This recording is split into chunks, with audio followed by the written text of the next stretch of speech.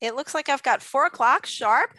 So I just want to say hello and thank you for attending um, another workshop. I appreciate it. Today I wanted to talk about some specific foods that lower cholesterol. Of course, you know me. I always like to give statistics. I always like to kind of set up the background of what we're talking about today um, and kind of give the overall general information and then we can kind of go into specifics. Um, you know, high blood pressure and high cholesterol are what we call silent killers because rarely will we have symptoms of that. And then all of a sudden you're being rushed to the hospital with a stroke or a, you know, a heart attack. So, you know, of course, my role as a nutritionist is tr- to try to prevent some of these nutrition related conditions. So these are definitely some tips that you can do to help prevent cholesterol, or if you do have high cholesterol, to actually help mitigate that and lower it with um, natural foods. Um, I think the one challenge that I see in the medical community is, you know, I love my doctors. I work really closely with my docs, but, you know, doctors are about medications. Um, so I really wish that the doctors would then, you know, send referrals to nutritionists to help a patient know what to eat. Because if you're on medications, great, we need them, but what good is that if we can't couple that with lifestyle? So of course, I'm going to show you the statistics. I mean, look at this. According to the CDC, 93 million US adults age 20 or older have a total cholesterol levels that are higher than 200. And I'm going to show you what the normal levels are. And even more disconcerting is the fact that our kids, our kids between the ages of 6 to 19 have have high total cholesterol. And how dangerous is that? We all know that having a heart attack just doesn't happen overnight. It's going to develop over time. So we already see our kids, you know, ages 6, 7, 10, 13 already have something called atherosclerosis, which is a consequence of high cholesterol, which will lead to stroke and heart attack. And remember that heart disease is still the number one killer of Americans, uh, with cancer being number two. Stroke is number five, by the way. So this is just a lab report of one of my patients. Um, and the other thing that I encourage my surgeons do, you know, I, I teach medical school, so I'm teaching my my physician to bees now to when you're talking to your patients, actually eh, talk to them, have a conversation. Don't just give them the lab report and then expect them to know what it all means. So we like to have conversations with our with our patients and our clients and say, okay, look, I have your lab work here, your lipid panel, you know, I don't want to make the assumption that you know what that means. So the lipid panel means that I'm looking at your total cholesterol, which is considered the bad cholesterol in, in its entirety if it's above the range.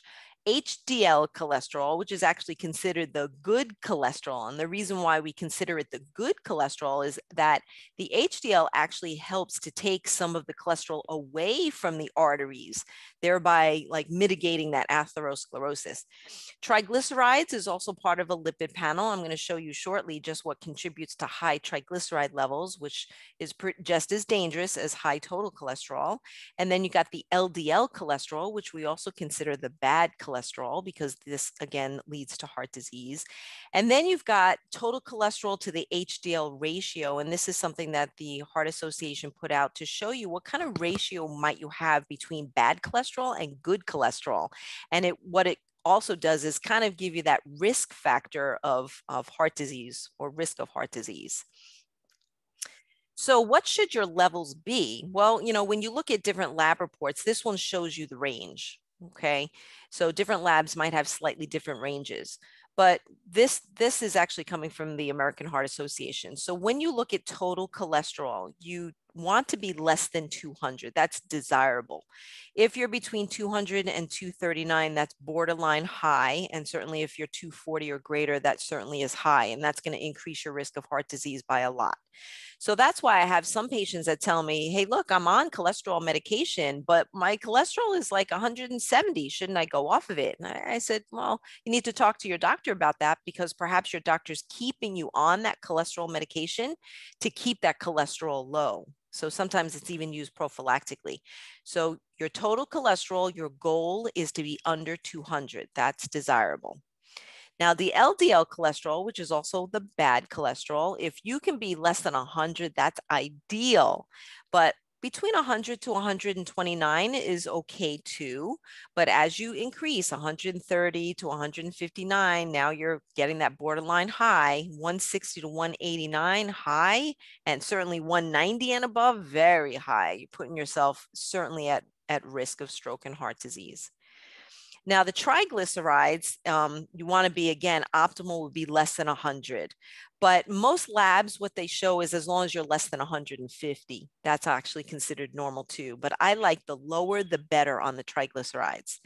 Um, borderline high, 150 to 199, 200 to 499 high, and 500 and above very high. And I had a patient that actually had a triglyceride in the 700s. I even had a patient that had triglycerides in the 1100s. Mm. Extremely dangerous. So, what exactly is cholesterol? Cholesterol is a type of fat that's created by your own body. We actually create it. Um, we produce about 800 milligrams per day. And cholesterol is also found in our food. So if our body is making it and we're eating it, the levels can become very high. Now, why does our body make cholesterol? Well, cholesterol is very important for different structures of our body. As a matter of fact, cholesterol is found in all the different cell membranes of your body. So you have to have it. And it also creates the different hormones that we have. Um, certain hormones like testosterone and estrogen and cortisol. It's also a component of vitamin D as well. So as you can see, this is something that our body produces because we need it. But unfortunately, what happens is sometimes genetically, we're making too much of it. And then that can also lead to that atherosclerosis or that heart disease. And then coupled with the fact if we don't have a good dietary lifestyle, that will exacerbate your condition as well. What excess cholesterol does is clog the arteries. It clogs up. And this is, you know, you just picture like a pipe in your house, you know, when you have all that hair stuck in your sink and then all of a sudden your water backs up. That's kind of like what happens in your arteries. It gets clogged. And uh, that's what this atherosclerosis is. It's like this fatty plaque that gets stuck to the inside of your arteries. And what makes this even worse is that your body almost treats that like an injury injury. So when you start building up atherosclerosis, your body thinks, oh man, that's an injury. And then it sends white blood cells and platelets to that area. And all that does is make the condition even worse. So now you've got fatty plaque and you, you really have a clog. That's what happens. And then if you can't get that blood supply through, What's going to happen? Well, depends. If you get get clogged of your coronary arteries, then you're going to have a heart attack because you cannot nourish the heart with the blood that it needs to function. If you clog the arteries that um, send the blood to your brain, that's going to lead to a stroke. So you can get clogs in various parts of your body. Um, this kind of, I mentioned that. Okay, so how are we supposed to eat? You know, what's really interesting is that just recently, about a month or so ago, the um, dietary guidelines for Americans have just been republished. They publish that every five years. So you might want to get on uh, the internet and just Google dietary guidelines. And these guidelines are written uh, by the USDA in conjunction with um, the Health and Human Services, and they put out surveillance data on how the Americans actually eat, and they give suggestions on how we should eat. So it's a really great guide. Um, but this I just took from the CDC, and it's basically the same. What they do is they give you an estimation of what they think the American diet should be you know we should we should keep our our fat low we should keep our sodium low we should keep our sugar low. Well unfortunately when you look at the surveillance information about our diets oh, we're completely the opposite we have high calories high fat intake high sodium intake high processed food intake high sugar intake high refined grain intake. Uh, you know we're, we're going totally in the wrong direction. And what's interesting it's not that this information is foreign. We know we're supposed to decrease our calories and decrease our fat and you know so but why aren't we doing it? What's the motivator that prevents us from actually eating healthier so I just wanted to mention these triglycerides. Triglycerides um, really became a focus of nutritionists um, a few years ago because we realized that the triglycerides are influenced by excessive sugar, alcohol intake, and excessive fat. So from your diet, you know, I, I might see that excessive triglyceride because I have a patient that drinks excessive alcohol. So that's helpful information for me because maybe I can hone in on that one aspect of that person's diet or this it was just so interesting to finally get the research to show that excessive sugar intake even from good sugar like fruit can actually raise your triglycerides and then that's not going to be so healthy for you anymore so that's why sometimes in my lectures you might hear me say look fruit is healthy for you i want you to eat it but i don't want you to eat fruit all day and that's because of the fructose and the simple sugar that can actually contribute to high triglycerides it's kind of crazy because I'll have my patients and clients even say to me, but Lil, I'm not eating a hot fudge sundae. I'm having mangoes. Yes, but you're having too many mangoes, right? That's a lot of sugar that you might be eating. Um, also, medications can cause high triglycerides. So, of course, if you are on medications, that's something that's going to be monitored by your doctor. And that's why, you know, you often get lab tests to make sure your lab levels are normal. So this is what I was mentioning before, high blood pressure and high cholesterol. They're called silent killers because we do not feel symptoms when our cholesterol is high. It's not until you're having that heart attack symptom that you feel it. So that's what makes this so much scarier because you know, out of sight, out of mind. I'm not feeling any pain. So why should I change my diet? You know, or you get your lab report and say, oh man, yeah, my cholesterol is high, but I'm not feeling any symptoms. So sometimes we're less apt to change our dietary behavior because we're not feeling adverse reactions. And we kind of have to change that paradigm of thinking a little bit. Why, you know, let's prevent the problem, even though you might not be feeling pain. So some things to focus on, certainly a heart healthy diet would be something that that would be very good. I saw a patient in the hospital the other day, actually yesterday, and she was in the hospital for um, a knee surgery that went bad, actually, and she had a really bad infection. And I walk in, you know, I, I, wanted to talk to her about her diet. And the first thing she says to me is, This stupid hospital has me on a heart healthy diet. I want a regular diet. And her perspective was, look, I'm not here for any heart issue. I'm here for my knee. But then when I was looking through her chart, her doctor had put her on a heart healthy diet because she's on a pacemaker, she has high blood pressure, and she also has high cholesterol. So that was a good call that the doctor put her on a heart healthy diet. So I just needed to be there to explain that to her. Um, after she got over my explanation, she's like, oh, all right, that's fine. Keep me on the heart healthy diet. But a heart healthy diet actually focuses on different things. It focuses on high fiber. It focuses on saturated fat, especially because saturated fat actually raises cholesterol levels. And the more you raise your cholesterol levels, the problem you have. Trans fat, there is no room in the diet for a trans fat. Trans fats are just really bad for our health. Um, total fat. So here you might have, you know, 300 calories coming from fat. Well, what is that 300 calories made up of? Is it saturated fat or unsaturated fat? Is it good fat or the bad fat? But you have to look at the total amount of fat that somebody is eating. Same thing with cholesterol intake. Cholesterol in food is found in animal products. So if you you are plant-based or if you're a vegan, you're really not getting that much cholesterol from your food because you're eating plants. But if you're eating any kind of animals, you know, eggs, dairy products, seafood, you know, poultry, all of that has cholesterol and it has varying disease, uh, degrees of fat as well. Um, plant stanols and sterols, I'm going to get to that in a minute. All right, so these these are from the 2015-2020 guidelines, but they really haven't changed very much in the new guidelines, the 2020 to 2025. So, what it's saying is that eat as little dietary cholesterol as possible, but there are no specific limits. However, I beg to differ with that because what I do as a nutritionist is I look at different recommendations. So this just might be just one recommendation from the dietary guidelines, but then when you look at the American Heart Association, they might give you different guidelines.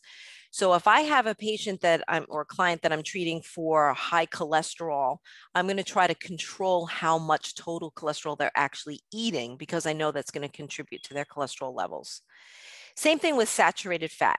we want you to eat no more than 10% of your calories coming from saturated fat. Now, what is saturated fat? Remember, saturated fat is found in all animal products. So that's why if, if we say, if you're a milk drinker, we'll say, you know, try to do non-fat milk because even though it's milk and it's an animal product, it's processed where we're taking out the fat or at least do a low fat. Same thing if you're doing yogurt and cheese. If you do eat animals, maybe you eat steak because you enjoy steak, we're going to ask you to get a cut that's very lean, like a tenderloin or a sirloin. Things that say loin are usually lesser in saturated fat. Or a lean uh, a lean protein might be a chicken breast or a turkey breast. Something like that is very lean. What do we mean by that? It means that it's lower in saturated fat. That's what that means. Unsaturated fats are the good fats, things that are coming from nuts and olive oil and different nut oils and wheat germ and things like that. And then the trans fats, again, the guidelines say eat little to no um, it's very difficult to have no trans fats, especially if you eat processed foods, and most of us do. I mean, think about it, even technically speaking, a cereal is a processed food. You know, so you're going to have to read the food label and see if it has trans fats in it. At least now the food labels will tell us if it does. This is just a really nice poster that the American Heart Association puts out. I think it's just concise and it's just really nice. So you want to love it. What what is it that we want to love? We want to love the oils and the unsaturated fats that have been shown to be heart healthy. So we're talking about fatty fish, we're talking about avocados, we're talking about different oils like olive oils, and I'm going to show you which ones I actually recommend. We're looking at seeds and nuts. Then we're looking at these things that are more saturated. So it says limit. So it doesn't mean you can never have butter. Thank goodness, because I'm British and I like my butter, right? But it doesn't mean use a lot of it. You still have to control how much in the total scheme of your diet. Same thing with cheese. Cheese is a big part of the American diet. So, and there's some cheeses you just can't get low fat. Um, you know, I like a nice Parmesan. Uh, how do you find a low fat Parmesan, right? Um, some of this where it says lose it, well, it's encouraging you to really limit these kinds of foods, these processed foods that have artificial trans fats and hydrogenation.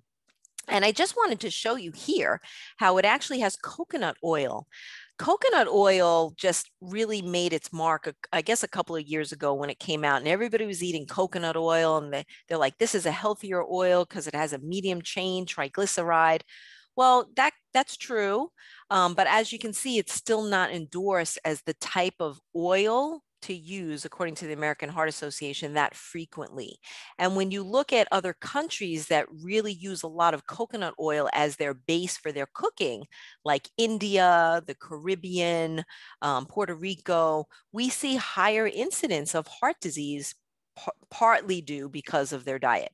So it doesn't mean that you can't use coconut oil. Of course you can. But again, you've got to do it in that moderation where you're not just using coconut oil as your main source of oil. So this is just um, kind of a review. All right, so what do you look for when you look at different um, food labels? Well, what's really nice about food labeling now is it really does give you a lot of information. The only problem is sometimes it's really confusing because that package is is very confusing. You got the marketing and then you got the sale price and then you got the ingredient list and you ha- it's just there's too much to look at. So when you're looking at the nutrition facts label, if you're trying to reduce the fat in your diet, I recommend looking for a product that has less than 6.5 grams or so per serving. So if you compared regular cheese to low fat cheese, that would tell you right there. A slice of, excuse me, regular cheese might have 10 grams of fat. So go to low fat because that might have anywhere from three to five grams of saturated fat. So that, or, or total fat. So that's why you want to start looking at food labels. And really, it depends on what your goals are. I have another client of mine. She's like, all right, do I need to look at the fat or do I look at the cholesterol or do I look at the sodium? It does depend on what your goals are. So this particular client that I'm thinking about, her goal is to lower sodium. So she's going to really pay attention to that sodium content. If you're trying to lower your cholesterol or lower your weight or lower your triglycerides, you really want to look at your fat intake. All right, so just overall, this is just general. The types of food that actually helps you lower your cholesterol naturally would be whole grains, so that means, you know, if you are on a carbohydrate restricted diet, like a lot of us are, you got to get bang for your buck. So if you decide I'm going to have some some carbs, make sure they're whole grains, that they're complex carbohydrates. All vegetables will help you lower cholesterol, all of them, because they're high in fiber, they're high in antioxidants, they're just really good for us and they're low calorie. They have no cholesterol in them either. So they're very low fat unless you put a whole bunch of cheese sauce on your broccoli. That's different. Okay, but all vegetables would be good for us. Fruits are also good for us as well because of the soluble fiber and the insoluble fiber. But again, you don't want to do fruit in excess because of the fructose. That's going to contribute to high triglycerides. So you might ask me, okay, Lo, so you tell you're picking on fruit. How much fruit should I have a day? Well, based on different calorie levels, I usually say, look, fruit is good for us. Why don't you limit your fruit to about two servings a day? Okay, so what does that mean? All right, so in the morning, you enjoy your strawberries with your oatmeal. Okay, do a half a cup of strawberries. That's actually one serving. And then you turn around to me and say, yeah, but I like my orange juice too. Okay, well, if you do four to six ounces of orange juice, that's another serving. There's your servings. So you get two servings, there you have it. So that means later on, if you want a snack, you're not going to go for an orange, even though that might seem like a healthier snack than a Snickers bar. Maybe you'll go for some salad or you'll go for a vegetable or something else. So it really is kind of a mixed message, but the message here is fruit is healthy for us, but we still need to control the serving of fruit. Fatty fish. Fatty fish just means that it's not so much the white fish. so if you have grouper or you have snapper or tilapia, those are, or flounder, those are white fleshy fish that aren't as fatty. They don't have as much of the omega 3s. They still have it, but not as much as compared to a fatty fish like salmon or um, swordfish or tuna or sardines or mackerel. Those are more oily fish. And even though they have fat, it's the omega 3s, it's good fat. So you want to make up the, the bulk of your fat intake from those kinds of foods. Nuts and seeds, you know, I always pick on nuts and seeds too, because that's the other thing I see in my practice that people are eating a lot of nuts. They're just overdoing it and then wondering why they're gaining weight.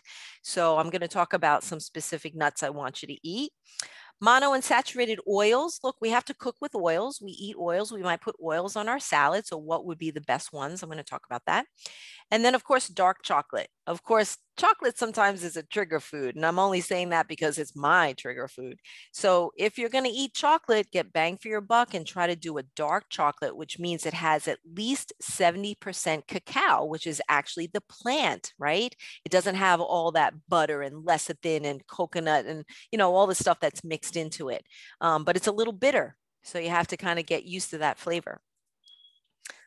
All right, so that was just general.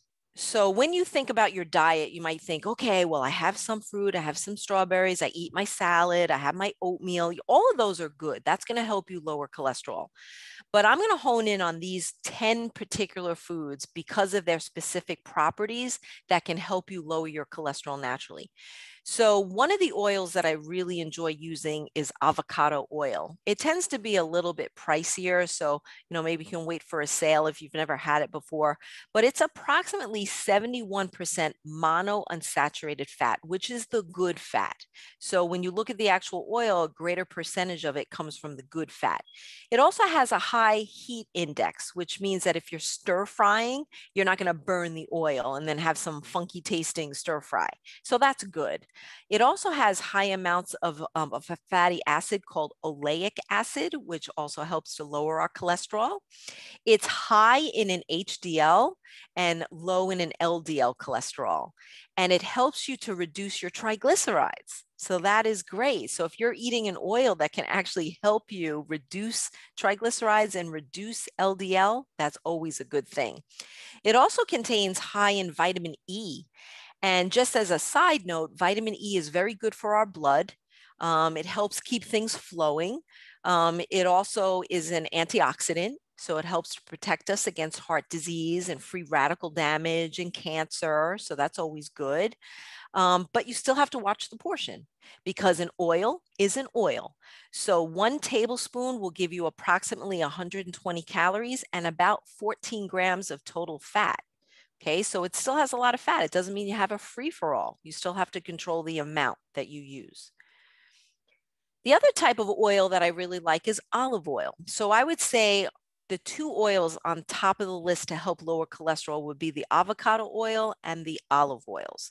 Um, olive oil, especially the extra virgin olive oil, is approximately 75% monounsaturated fat which is really great. And again, the more unsaturated fat, the more monounsaturated fat, the healthier it is for your heart because it's helping to lower total cholesterol, lower LDL, lower triglycerides, just like the avocado oil, and overall um, lower total cholesterol. What's nice about um, olive oil as well is it, it also has properties that are anti-inflammatory. And we do know that one aspect of disease is when we have an an inflammatory response. Inflammatory responses can cause heart disease, arthritis, stroke, cancer. Um, you definitely want to choose extra virgin olive oil just because that's going to have the most nutritional value. It has um, most of the phenols and all the great stuff that you want to have. The only problem is it doesn't really have a high heat index. So that's why you have to kind of be careful when you cook with it. Um, you, you might want to cook with the avocado oil and then use the olive oil just to finish things off. You know, use it at the end as your salad dressing or as your flavoring for the end. That's how I like to use it. But again, you got to watch the portion because one tablespoon of this oil also has about 120 calories and 14 grams of total fat. So this is just the comparative. So 120 calories, 14 grams of fat. It's pretty equal in the saturated fat, which is pretty low. Um, it's pretty equal in the monounsaturated. And avocado oil has a little bit more polyunsaturated. And actually, the olive oil has a little higher in vitamin E. so when you do the comparison, it's pretty similar, but these two oils, make sure they're on your shelf. I think these are really good for our heart health and also to lower cholesterol. The other um, food that I want to hone in on are legumes. Now, all the legumes are healthy for us. A legume are the beans, right? The black beans, the pink beans, the kidney beans, right? But I'm going to hone in on garbanzo beans, which are also called chickpeas. There are lots of different health benefits, but what I really love about chickpeas or garbanzo beans is that it helps to lower both the total cholesterol and the LDL. So both. And remember, those are both the bad cholesterol. Um, what's really nice about garbanzo beans too is it does a whole host of other things. It's it can promote weight loss. There is actually some studies to show that. And the reason for that is that um, it's filled with fiber. And whenever you have fiber, that's going to naturally lower blood sugar, cholesterol. Um, it helps with weight loss because now you're feeling full. Um, fiber also helps bowel function as well because we got to keep those bowels working as well. Um, so that's why the chickpeas, the garbanzo beans are just one of my favorite. And they're very versatile because you can eat them cold, you can eat them roasted, you can eat them in a stew, you can eat, I mean, you, they're just, you can eat them. I mean, not a lot of people will just eat cold black beans, right? That's that's kind of different than the garbanzo where you can just eat it cold in a salad, right? The other thing that I like about the garbanzo beans is that it, it really has a lot of very healthy um, vitamins and minerals that are needed for our healthy blood. So when you look at the folate, folate is a vitamin that actually helps to prevent pernicious anemia. It also helps our heart by lowering something called homocysteine. So it's going to help your heart because it helps lower your cholesterol and your LDL, but it also helps lower homocysteine, which also helps your heart. Um, it has copper, which is actually good for your blood. It's good for protein. Um, you know, it's a plant-based protein, but that's very good too. It's high in iron, which is good for your blood again. It's good for with zinc, which is good for immunity. So all of these ingredients, again, you get bang for your buck when you're eating garbanzo beans just gave you a quick little recipe here too. Uh, this is something you don't doesn't even need cooking. It's just it's just a garbanzo bean salad. Basically, all it is is you just put whatever you want in there. If you got some leftover, you know, celery and tomatoes and uh, you know herbs, just throw it in there and just make a nice healthy salad. Um, so this is just a little recipe I provided for you.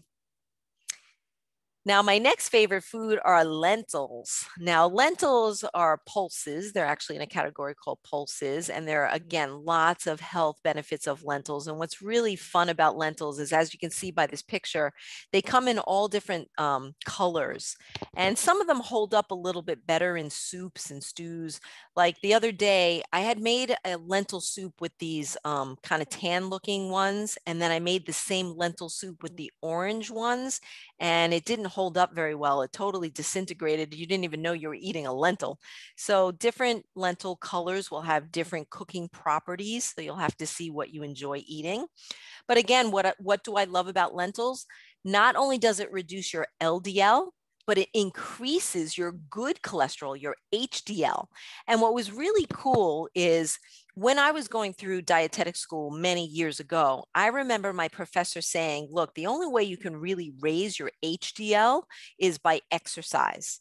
And because it's genetically you know programmed so exercise definitely helps hdl but you're really not going to find too many foods that do that well years later, we're finding no, that's actually not true. There are certain foods that can raise your good cholesterol, and lentils are one of them. So that's why I really love it. The higher the HDL, the better. It's very protective for your heart. Um, so much so that the the range of the labs actually changed at one time we were really happy if somebody had like an HDL of 35. now we want you to have an HDL level of at least 45. And the higher it is, the better. The other thing that's really nice about lentils is again, it contains all that nice fiber that's good for your heart and your body. It does contain a good level of iron as well. So again, another plant source of iron, which is good for our, you know, plant-based eaters or our vegans and our vegetarians. So looking at this profile of cooked lentils, this is about one cup. Again, it's, it's very high in that folic acid, which is so good for us. Again, it has the copper, it has the fiber, it's got the manganese, got the iron, it's got the protein. Again, a very good source of protein. It even has something called vitamin B1, which is thiamine. And thiamine is really good for metabolism, especially metabolism of carbohydrates. It's got pantothenic acid, it has B6, so it's just a really healthy food. Um, and what's nice about lentils is that it doesn't have a very strong flavor. You know, it's very mild. So what's nice about that is you can really jazz it up in terms of where you want to put it. So this recipe, I just stuck this recipe on there. It's an easy lentil soup. Again, something that's really easy. It's not going to require so much cooking, something that you can throw in one pot or one crock pot and kind of be done with it. Um, but then it'll last you a couple of days, which is really nice. Um, one trick that I do is I always rinse my lentils. Um, just because remember the dried lentils, sometimes it has little bits of, it almost seems like sand or rocks. you want to rinse it. And then I soak them because then they cook really, really fast.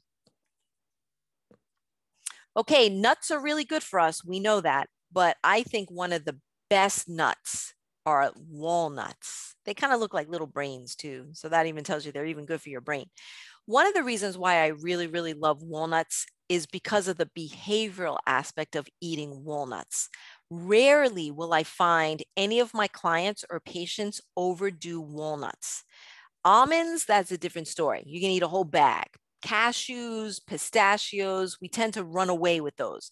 But walnuts for some reason you're not sitting there eating a whole bag of walnuts and that's a good thing because i'm trying to control the calories as well but walnuts are very unique because they contain omega 3s and omega 6s um, they provide vitamin E. They are so power packed with vitamin E. They have all different carotenoids, which are healthy for us, anti inflammatory. It contains zinc again, which is good for our immunity. It has selenium. Selenium is a really amazing mineral because it's an antioxidant. It really keeps us healthy. It's got manganese, which is good for our blood. It's got copper, it's good for our blood. But again, talking about cholesterol, what does it do? It helps to lower the LDL and lower the total cholesterol. And that's why I like walnuts a lot. And then when you look at this, it also contains biotin, which is nice. That's good for our hair. It's got manganese, it's got molybdenum, copper, omega 3s.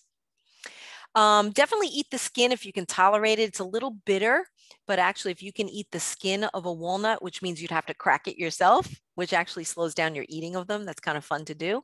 Um, that actually also has more fiber in it as well. I know you guys probably have seen this table before because I've shown it before, um, but I just like to show you the comparative of calories and fat from nuts. So almonds, one ounce, 163 calories. Again, still has a lot of sat, um, total fat. Your Brazilian nuts, your cashews. So you can kind of see the numbers, macadamias, walnuts. So one ounce, how much is that? Okay, one ounce of almonds, depends on the size, but it's approximately 22 to 24 almonds. Let me tell you, that doesn't seem like much, especially if you're sitting there snacking, or maybe you're, you know, you got that nut that nut uh, bowl there while you're playing cards. And then before you know it, you're eating a lot of nuts, you're eating a lot of calories, and you're eating a lot of total saturated fat or unsaturated or total fat. Uh, Brazilian nuts, uh, they are so fatty that even when you bite into it, you can almost see the oil. So Brazilian nuts, a serving size is anywhere between three to five. That's it. Cashews, about 14. Chestnuts, a little bit more, maybe about 15 or so. Hazelnuts, uh, less than 20. Macadamia is very high in fat, so we keep those low, usually about 10. Pecans, uh, about 20. Pistachios, believe it or not, you can have about 40 pistachios. um, and if you have them in the shell, that's even better because you'll eat them slower. And then walnuts, anywhere between three to five whole walnuts. Okay, so again, it's not very big serving sizes. So usually what I try to encourage my clients and patients to do is nuts are really good for us, but be careful if you're going to use it as a snack food. I'd rather you use it as a condiment. So that means you're going to put a serving in your yogurt, or you're going to put a serving in your salad, or you're going to put a serving in your oatmeal, or you're going to crust your fish with it. You know, use it as a condiment rather than a snack. And if you're going to use it as a snack, count them out you got to portion control it. Otherwise, we tend to eat way too many. They're trigger foods and they're easy to eat. And one after the other, you're eating them. Here you go with the pistachios. So we've got walnuts and we've got pistachios. And what I really love about pistachios is that it really, really has been shown to reduce that cholesterol by 67% and LDL by 10% and triglycerides by 14%. So it gives you that three point whammy there. We're lowering all the things that are bad for us in terms of cholesterol. There has been some study to show that pistachios also reduce blood pressure, and that's always an added benefit to your heart. Um, they're high in protein, which is nice. Um, look at this, about one ounce. This one says 49. Usually I say about anywhere between 42 to 44, but this, this uh, reference at 49 nuts has about six grams of protein in it, which is about the same as one uh, large egg. And this is a, a fun fact. In China, pistachios are known as the happy nut because they look like they're smiling. They kind of do. it's often given as a gift during the Chinese New Year, and pistachios are a symbol of health, happiness, and good fortune. So I kind of like that message. All right, now fish. We were talking about fatty fish. Now, before everybody passes out because I'm saying sardines, I know they're not a very easy fish to eat, but they are one of the healthiest fishes to eat. Now, you know, if we were living in Greece or Italy, we could get the actual sardine, which is really nice, the actual fish, and, you know, really have a nice dinner out of that. But here in the States, what do we get? We get the stuff in the tin or the stuff in the box. Um, but they do taste a little bit fishier. I agree with that, but they are so good for us. So if we can kind of get over that, maybe put some lemon juice on it or some vinegar to kind of mute that. They are so good for us. And again, it's it's a food that lowers the triglycerides as well as the cholesterol levels. And not only that, it's a really great source of vitamin B12. Vitamin B12 is a vitamin that's very good for our blood. It helps to prevent, again, just like folic acid, pernicious anemia but it's also good to prevent peripheral neuropathy. So it's even good for our nerve tissue. It's actually involved in DNA synthesis. So it's really good for us. So sardines are just, you know, I know it's a harder fish to eat, especially if you're not a big fish eater, but it really is so good for us. Um, what else does it have? It's very high in selenium. This is about three ounces so good. Omega 3s, phosphorus, actually, which is good for our bones. Uh, it's good source of protein. Look at this, it's a good source of vitamin D. Vitamin D is good for our bones. It's good for our immunity. It's just, you know, it's it's very, very good. It's a steroid, really. So it's really good for us. It also has calcium. It's really hard to get calcium from a lot of foods, so it does have calcium. It's got B3, which is niacin, which is also good for our heart. It has iodine, it's got copper, B2, which is a riboflavin, and choline. What's interesting about choline is choline helps our insulin work better. So this would also be a very good food if you have insulin resistance or if you have diabetes. This would also be a good food for that. And it's pretty low in calories as well because it's a fish. So usually the way I eat it, I, I like to sprinkle some lemon juice or some olive oil on there because, you know, I want to kind of mute that fishiness out of it. Um, sometimes I might use it in a salad. Um, sometimes I'll use it kind of like as a replacement for tuna. So I'll put it with some mayo, with some, you know, celery and things like that. Um, but the more herbs that you can do, the better it is. It kind of mutes that fishiness a little bit.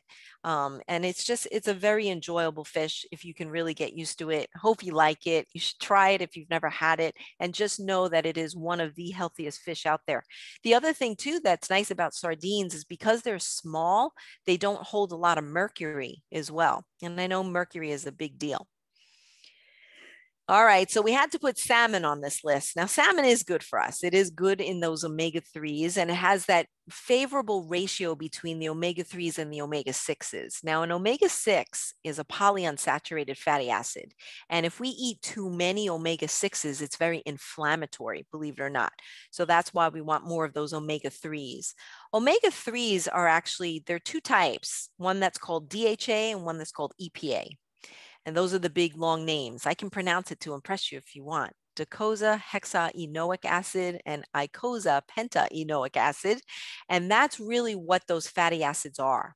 So that's why if you take a fatty acid, you know, a, a fish pill, right, an omega 3 fish pill, you got to read the label to see if it has both DHA and EPA because both of them are good for us. Um, so good for our, our cholesterol, good for our heart, reduces triglycerides, helps our blood flow, um, just really, really good for us. One of the challenges with salmon, of course, is that many salmon um, choices are farm raised. And I do know that there was some controversy about farm raised salmon because of the agricultural or fish agricultural practice, um, showing that there was higher contamination just because of the farming practice. So, you know, it's kind of controversial. You know, you almost want to say, look, I want you to get wild salmon, but sometimes that's not available. Sometimes it's so expensive, it might not be, you know, realistic for some people. And then you also have to still worry about mercury because that's natural in the environment. So, you know, what do we do? Do we not eat it or do we eat it? I say that still the good is going to outweigh the bad. It's the same concept of fruits and vegetables, right? A lot of people will say to me, Well, I don't want to eat a lot of fruits and vegetables because they have pesticides in them. But I'm telling you, eating them outweighs the pesticide. It's actually going to protect us from the pesticides. So I would say, eat it. It's good for us. the other thing you might even consider is even canned. If you can't get fresh or wild caught, do the canned, especially the ones that say wild caught in the can. There's there's no reason why we shouldn't eat something like that. Um, what's nice about salmon too is it the eating it and the omega 3s also helps our joints. So if you tend to have arthritis, that inflammatory arthritis, that salmon, the omega 3s helps to decrease that. It's it's shown to help improve mood and cognition, I don't know. I'm always cranky and I eat a lot of salmon. I don't know. Um, it reduces risk for macular degeneration. Macular degeneration is a big problem, especially in our older population, and it's a weird kind of blindness.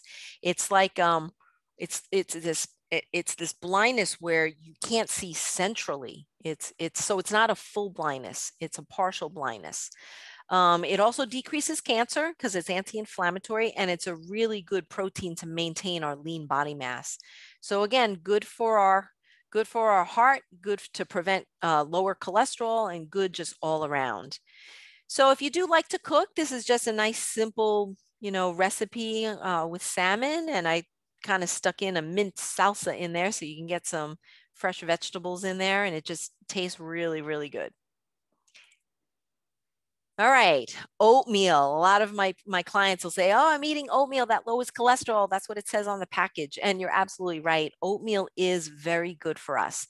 And it's not just because it has good fiber. It also has something in it called beta glucan. And the beta glucans is what also helps to lower our cholesterol. Um, it helps, helps to lower LDL as well. Oats are actually a member of a grass family, just like quinoa, believe it or not. Now, there are three different types, and sometimes this gets confusing for some people because I have my clients say to me, Well, should I just do the steel cut? Oh, okay. It depends on how much time you want to spend cooking your oatmeal. So, you've got old fashioned oatmeal, which is also called regular or rolled oats. Okay. And basically, what happens there is they take the oat, the groat, and then they crush it, they steam it basically. So, they're it's par cooked a little bit, and then they roll it and dry it. Then you've got the quick and instant rolled oats because you only have five minutes to get out the door and they're rolled thinner. So it cooks really, really fast. And then you've got the steel cut oats, which is the actual groat it's the actual kernel and what they do is they roast it usually and then they cut it into smaller pieces so because it's not rolled and pre-steamed it is going to take a longer time um, to cook it it does have a a different consistency. It's nutty, it's chewy. Some people like that, some people don't like that. So I would say, is one better than the other? I say, whichever one you can fit into your lifestyle is the one that I want you to have. I know when my dad was alive, he would do the quick and instant rolled oats. He wasn't going to sit there all day and start cooking oatmeal. So that was the best one for him. One trick that you can do, not so much with the steel cut oats, is um, I'll come back to this, is I know you've heard of the overnight oats. Um, and that works well with either the rolled old fashioned or the quick cooking.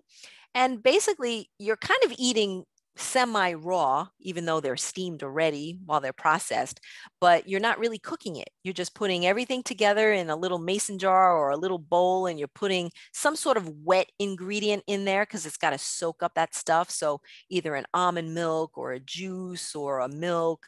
Um, and then you just mix it with whatever you want to mix it with.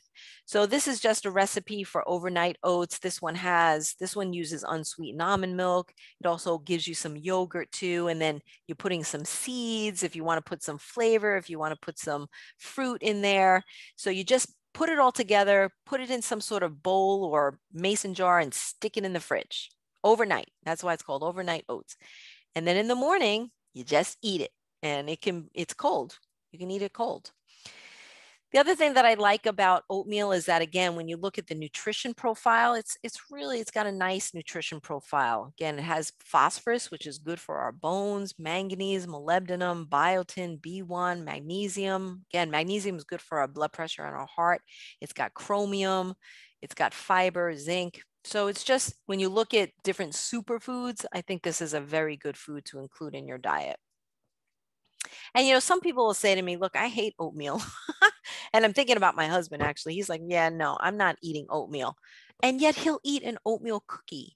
So what I do is I've created, you know, healthier oatmeal cookies where I'm actually making I'm using oatmeal, but I'm using, you know, a sugar substitute. I'm using different nuts and I'm making it into a cookie. And then he's eating it. Well, guess what? he's eating oatmeal. The other thing I like to use oatmeal for is when, when you make your homemade granola. Um, so oatmeal is just very versatile. You can also use it in food. That's what I like about oatmeal too. So you can actually, you know, use it in your meatloafs and and things like that. You can crush it and you can use it as a coating. So it's very versatile. All right, so um, vegetables, we know all of them are healthy for us, all of them. But again, I want to hone in on, you know, number 10, which is asparagus. And the reason why I really love asparagus to help lower the cholesterol is because we know that asparagus lowers the cholesterol by doing something called binding your excess bile acid. that sounds very complicated. Basically, what bile is, is it's created by your liver and it's stored in the gallbladder and it helps you to break down fat when you eat it. So excess bile, unfortunately, can contribute to higher cholesterol levels. So anything that can bind it and get rid of it is a good thing. So, and we make bile. So, you know, you're not going to bind so much that you can't digest your fat. So asparagus lowers the cholesterol by doing that, which is really good. And believe it or not, there is some medications, that's how they work. That's how they lower your cholesterol. They're binding excessive bile acids. So why not we just do it naturally by having asparagus? I know sometimes that, you know, there's, there's that um, side effect of eating asparagus when you urinate, it kind of has that strong kind of funky smell. And that's kind of the sulfurs and the stuff that you're actually excreting. But asparagus is loaded with vitamins and minerals. And actually, researchers have identified nearly 100 phytonutrient compounds. That is power packed. Let me tell you, this is such a good, good vegetable. It's anti inflammatory, which means it's going to help you reduce your risk of cancer and diabetes and high blood pressure. The best way to eat asparagus is if you can do a quick saute or a quick steam. You don't want to make it too mushy, or even if you roast it you know, put a little bit of that avocado oil or that olive oil um, and roast it. And boy, oh boy, it is just so good for us and look at all of these these other nutrients. It's just wild. Look at this again good with folic acid. It has vitamin k. Vitamin k is good for blood clotting um, folic folic acid good for our blood again copper b1 selenium. It has some vitamin c. How nice is that? Vitamin c is an antioxidant that helps us um, phosphorus fiber manganese. So just look at this profile. It's just really really good for us other notable foods to lower cholesterol, of course, the dark chocolate, like I mentioned, blueberries and raspberries, those, those berries are really good for us. So if you're gonna focus on fruit and you're worried about the sugar, when you look at berries, they're very, very sweet, but they're actually very low on the glycemic index because they're so high in fiber. So get bang for your buck. Get some blueberries, raspberries, blackberries, strawberries. Um, eggplant, believe it or not, actually is a notable to help lower our cholesterol unless of course you're frying it and you're making it very fatty then that could be a problem. Um, barley is really good for us. We talked about barley last month about how good that was for us anyway. And then any kind of dark green leafy vegetables spinach kale swiss chard that's all going to be good for us to lower cholesterol. Remember the higher the fiber the better it is for us so some of my clients say, okay, so I have high cholesterol. What do I do about eggs? Can I eat them? Can I not eat them? And the information is so confusing. One day you can eat them, the next day you can't eat them. What do I do? So this is what I say. Remember, our body makes cholesterol.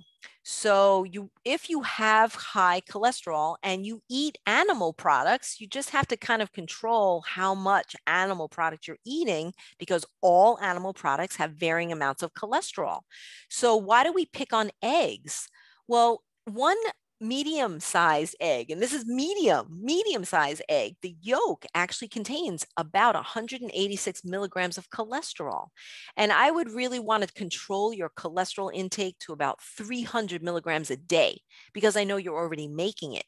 So that's why it doesn't mean you can't eat them, but if you're battling high cholesterol, I might want to control how many egg yolks you eat.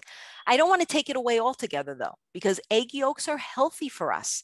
Egg yolks have other vitamins and minerals that are good for us. So that's why can we eat eggs even if we have high cholesterol? The answer is yes and no. Yes, you can eat them, but you don't want to eat them every day. So that's why there's that big push to eat more egg whites or egg substitute because the egg whites have have lower cholesterol. I wouldn't say none, but it has much lower cholesterol. It would be the yolk that's much higher, and it also has the fat, which also contributes to the cholesterol. So, what's really interesting though is that we even see that eggs raise the HDL. So if you get those special eggs, you'll see that um, you know sometimes they feed these chickens omega-3 diets. Get those because that means those omega-3s are actually higher in that egg. So that's good because the more omega-3s, the lower your triglycerides. So again, get bang for your buck. What's nice about um, eggs too, even the yolk, is that it's high in choline and zinc. So that's good for your blood and immunity and blood sugar. And it does have um, antioxidants, specifically something called lutein and zeaxanthin, which are very good for us. So when you read the research, for about 70% of the population, and this was based on that one study, there is no increase in total or LDL cholesterol.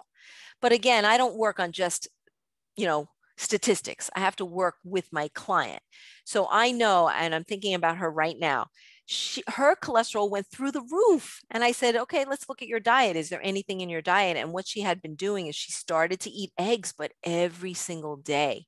So for her, it was actually affecting her cholesterol levels. So she agreed to just reduce it. Now she's doing three per week, and then she's doing more egg whites.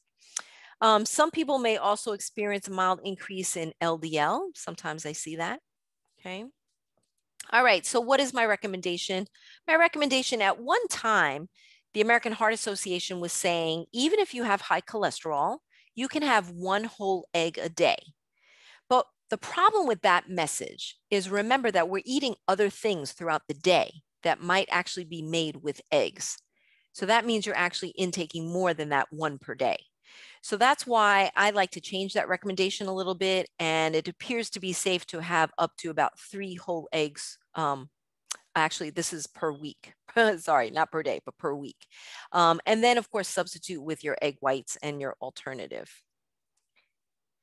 Now, what are plant sterols? Plant sterols and stanols are things that are naturally found in certain foods, but we know that it actually blocks the absorption of cholesterol from food. And that's a good thing because that would mean that that naturally lowers cholesterol as well.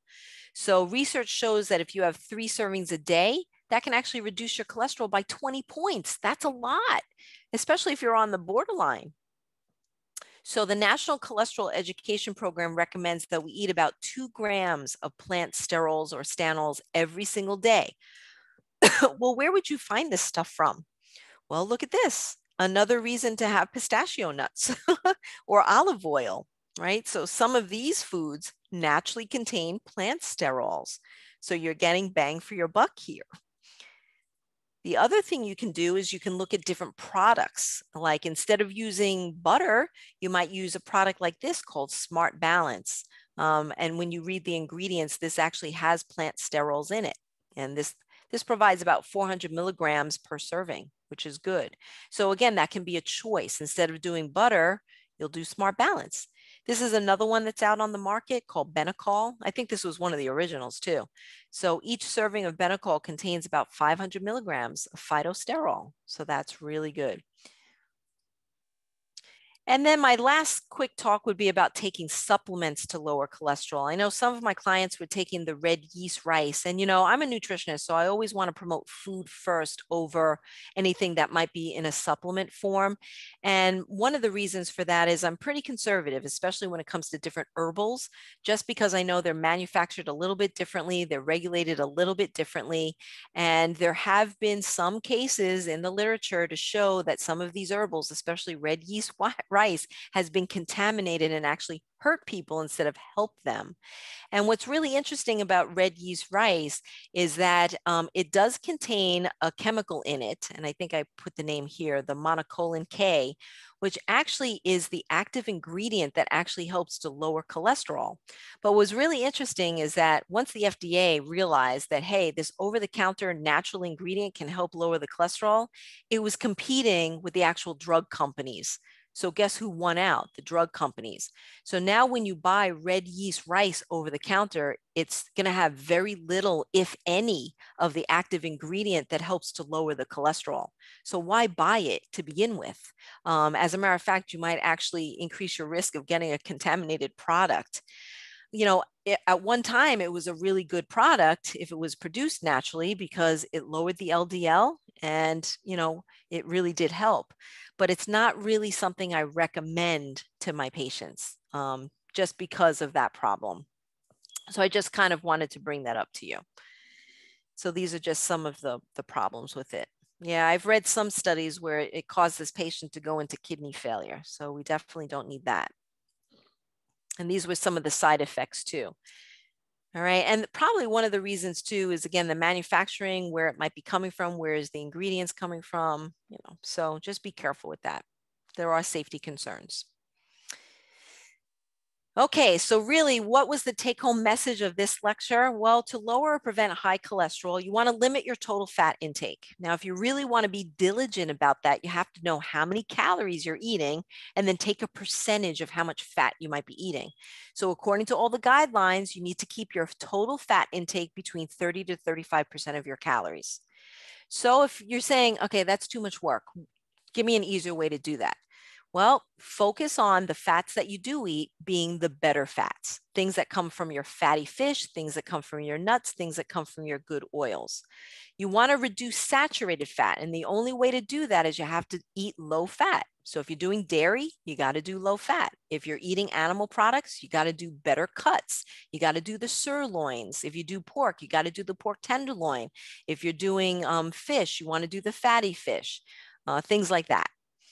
Try to be careful of the trans fats. And that is impossible to stay away from if you're eating the processed foods like cookies and crackers and things like that. You've got to read the ingredients. Definitely increase your fiber. I think we can naturally do that by having our vegetables, having our legumes, having your oatmeal, having your garbanzo beans, all of that has fiber. And lo and behold, if you want to increase your fiber intake, take some Metamucil. Um, that's actually a trick that I that I recommend to a lot of my clients and patients, even if they don't have bowel issues. Metamucil is a type of psyllium fiber that actually helps to lower cholesterol, lower blood sugar, lower weight because you're feeling full, and it helps with the plumbing. And you can actually get Metamucil in an unflavored, so you can mix it in different things. Um, add two grams of the phytosterols. Again, you can do that by getting bang for your buck. If you're using olive oil, you're getting some of the plant sterols. Instead of using butter, maybe get a Benecol, you know, get something like that. Um, I really don't recommend taking those cholesterol lowering supplements. And if you do want to venture to do that, make sure you talk to your doctor and pharmacist before you do to make sure that it's not contraindicated in any of your medications. And then, of course, eat the foods that we talked about because I think that could overall be healthy for you and help lower your cholesterol. These are just some of my references that I use. This is a really great website. You should get on this website. It's called the World's Healthiest Foods. And this is where I got a lot of this information from. And it, it, it talks about a bunch of different foods and why they're healthy for us. And it gives you recipes. It's a really, really reputable website. All right, that's the end of my lecture. All right, tell me, what questions might you have? Let's see, anything in the chat? Oh, nobody's chatting with me. Any any comments? Any questions? Everybody's doing okay? Great. Great. Oh, very good. I'm glad you enjoyed it. Wait, I